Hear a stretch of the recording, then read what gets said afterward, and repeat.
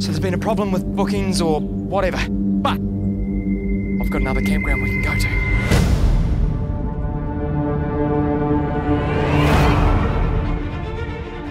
And the best part is, we have it all to ourselves.